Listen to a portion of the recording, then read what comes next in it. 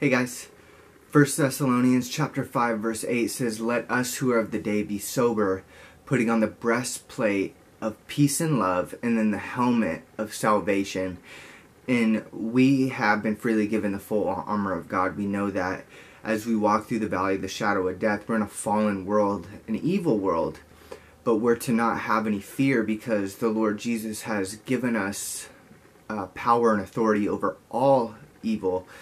And uh, we're to, this scripture is amazing because we can put on the breastplate of peace and love and then put on the helmet of salvation. So you're literally walking in the armor of god that god gave you.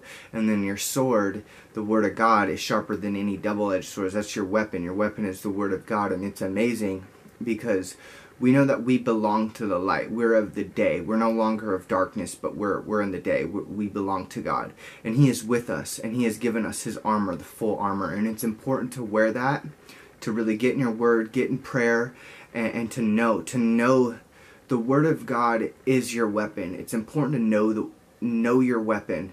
When you go out in the battlefield, because it's a spiritual war, you can't go out there with any ammo.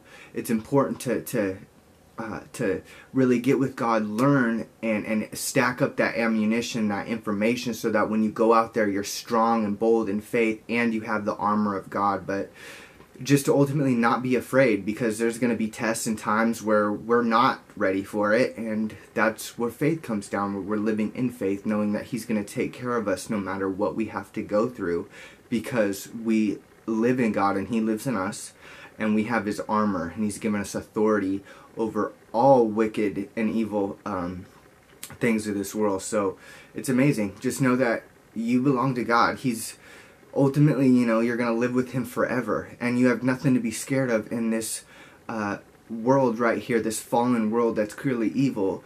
So boldly put on that armor, boldly know that you have the helmet of salvation. You are saved you walk in love and in the spirit of peace and you have the word of God, which is your sword that'll cut down any enemy that tries to come in your way. And it's amazing. Glory be to God. So remember just to walk in your armor, walk in God's armor that He's freely given you. It's important, especially the times that we're in evil and wickedness are ramping up, so we're going to ramp up Jesus. And now's the time to suit up for battle, put our armor on every day that we wake up, and know that we belong to God and we are soldiers for God. So it's amazing. God bless you guys.